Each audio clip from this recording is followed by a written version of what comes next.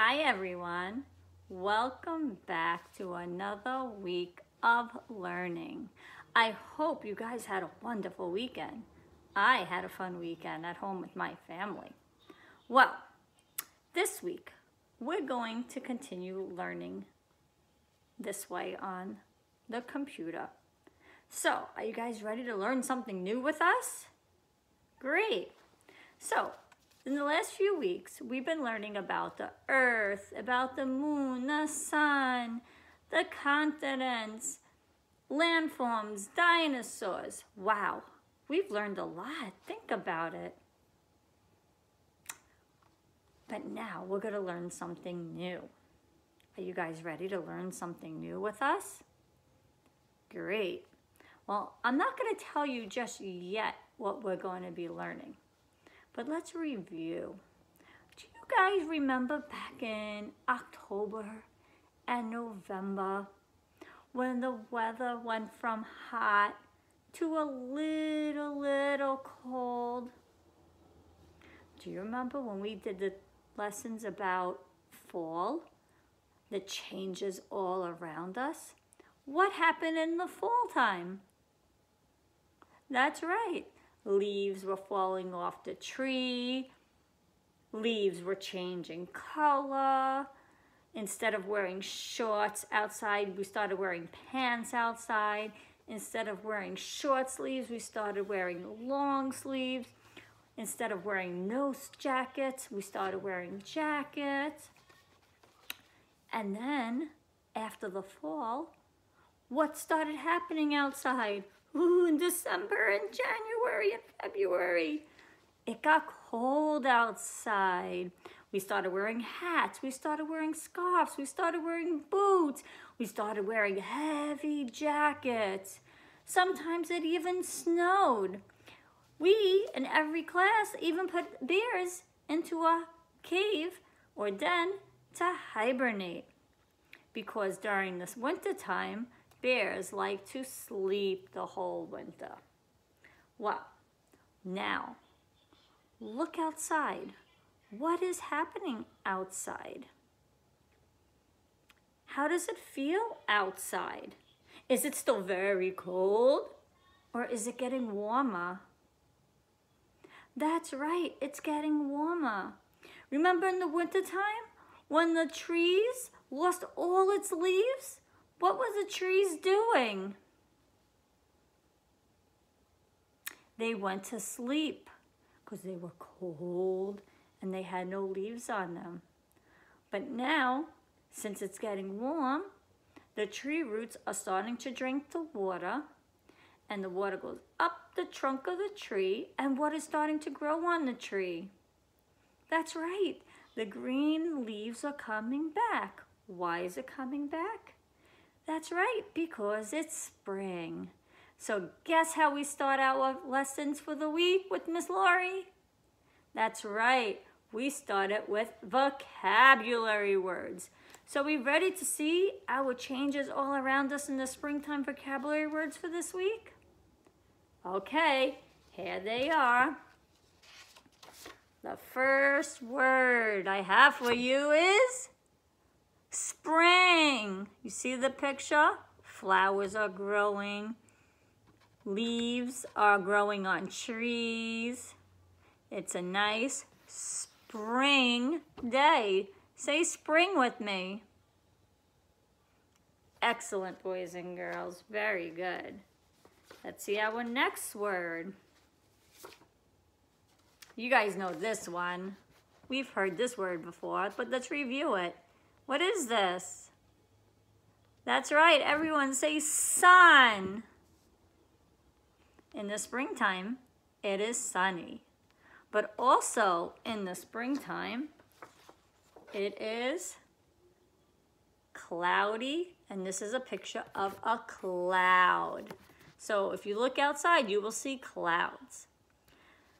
But what comes out of clouds in the springtime? When it's warm outside. That's right, boys and girls. Rain. Everyone say rain. The rain comes out of clouds in the springtime. And what does the rain help us outside? What does it help? It helps things to grow like flowers. We'll get to that in just a few minutes. I promise. But before we get to that, we have one more word. Rainbow. Everyone see the beautiful rainbow? Rainbow. This week we're going to talk about rainbows also. Okay, so let's go back to the rain. Remember we said a few minutes ago, a minute ago maybe, about the rain helping flowers grow? But not only to have flowers grow do we need rain, we need something else. Do you know what we need? Seeds. You see the seeds going into the soil? That was a vocabulary word from a few weeks ago. We need seeds. Everyone say seeds. We're going to do some planting in a few weeks with seeds, and you're going to see seeds growing. But for now, just know, seeds. And what happens when the water gets to the seeds? They start to sprout. Everyone say sprout. Very good. Another vocabulary word is when they sprout, before they turn into anything, they begin to bud. So you see here, the flower is coming out. It is beginning to bud. And when the bud opens, we have blossoms. Everyone say blossoms. Oh, Ariel's here to join us. Ariel, say blossoms for the friends. Blossoms. Very good. Okay, what else happens? Do you know what the blossoms Blossoms. turn into? Before we get there.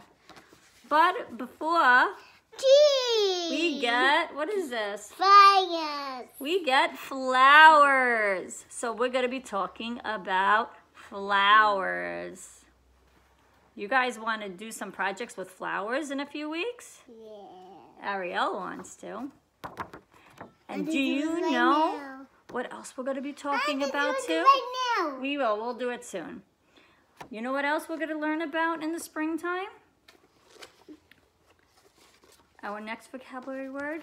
Bye-bye. Thank you, Ariel. We're going to learn about butterflies. We're going to watch and see and learn how a butterfly becomes a butterfly. Butterfly catcher.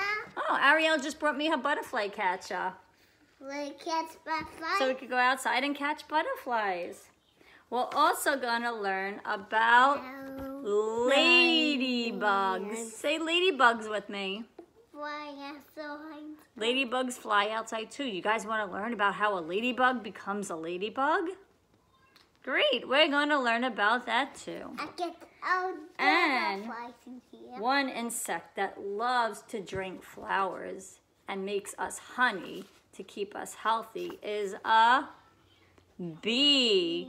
So in the springtime, bees start to come out. We don't like bees. Bees could go away. But we like butterflies and we like ladybugs. So we're really going to be learning a lot about butterflies and ladybugs coming up. So boys and girls, these are your vocabulary words for the next few weeks. You're going to be seeing them coming up again and again in our lessons. So you guys ready to learn about the springtime and the changes around us? Yes. Great. We are going to have fun. Print up your pictures and write your words and send us the pictures and videos of you practicing your words in an email. Have fun, guys. Bye. Bye.